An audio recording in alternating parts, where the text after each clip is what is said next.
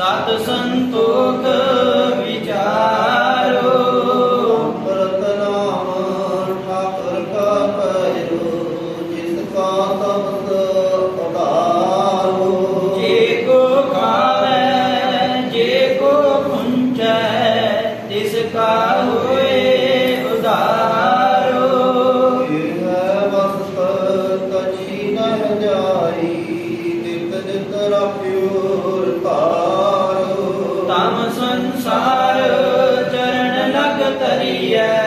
ਸਭ ਨਾਨਕ ਬ੍ਰਹਮ ਪਸਾਰ।